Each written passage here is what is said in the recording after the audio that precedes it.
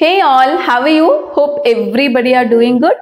Well, I'm very much excited to share that Homeschool has got a big surprise for you all. A surprise that can make your academics much better. A surprise through which you can learn the concepts in the best possible way. Moreover, you get a chance to interact with us. We can always discuss and learn, right? And many of you asked me to come live many times. But this time, I'll be live to share this big surprise with you all. But I love to make you all keep waiting for some more time. And you try to guess what maybe this surprise is.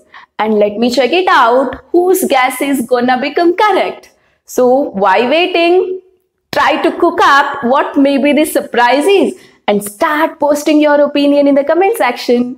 So keep waiting. See you all with a surprise.